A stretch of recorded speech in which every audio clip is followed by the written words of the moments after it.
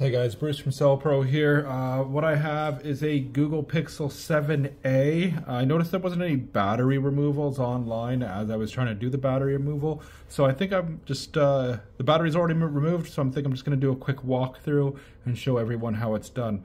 All right, so the back, obviously this is, uh, this is plastic, it is not glass, uh, so you can pretty much get into it with a razor blade and then heat it up slightly. Use a hair dryer if you uh, if you're at home or a heat gun or a heat pad is the best. And then get underneath it with the razor blade. Uh, and then just get a little bit of leverage and then force your pick in there and then you work the pick around the sides like so. It's really easy. It's not. It's nothing compared to some of the other phones. Um, you might need to use the razor blade on this metal part to, pu to push that up again and then work it through again uh, around the edges and it pops off. It's actually quite an easy back to remove once you've got the, the right amount of heat on it. Um, all right, so now that this is off, uh, or the back's off, um, the next, there's, uh, the next e tricky part is this here. Apply a little bit of heat, not a, a lot of heat, about 100 degrees Celsius, and then get this off. Um, and it just, it actually easily pops off like that.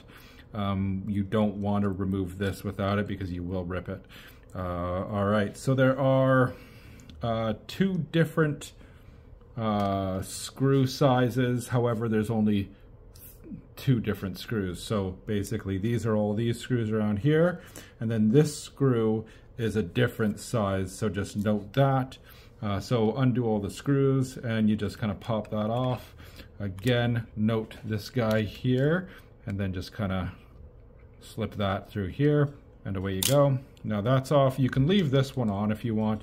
Um, the battery here, uh, this is going to be sitting like so. And you take the one screw off and again it's that one different size and then there's a little clip here that you just need to slide that out of. It's pretty straightforward.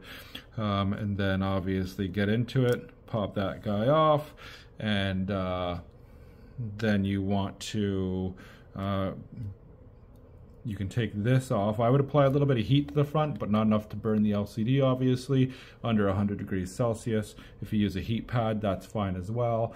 Or you can use some isopropyl to loosen the adhesive, and then this usually sits like that on top of there and then you just loosen that up and then you I would probably go work that out like that or you can uh, you can pull on this to get it off which is what they're meant for or you can get the, it off there and just sort of loosen her up that way it's actually this one's kind of stuck on there now and then pop it off like so.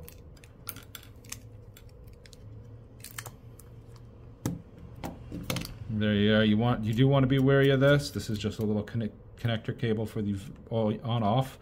It actually, when you're putting the battery back in, the new battery, it's going to sit like that. So it's going to sit over top of it.